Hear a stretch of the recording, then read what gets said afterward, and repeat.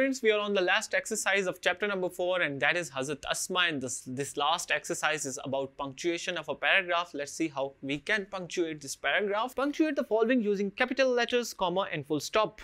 So we have to use only capital letters, comma and full stop. The Holy Prophet. That's why when we are starting anything, we always use the capital letter, the.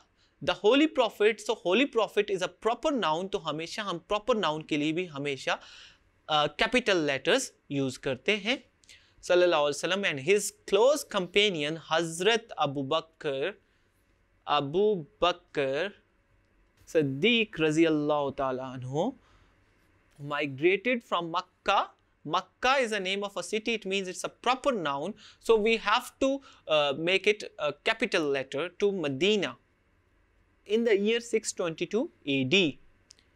So here, यहाँ पे full stop on their way to Medina. So here we can use the comma, that is a slight pause. On their way to Medina, again the capital letter, they sought temporary refuge in the cave of Sor. Full stop. So students, I hope you understand this uh, exercise which is related to the punctuation Uh, just keep it in mind that whenever there is a proper noun in a sentence, you have to uh, write uh, it in capital letters. The first letter of every uh, proper noun should be capital.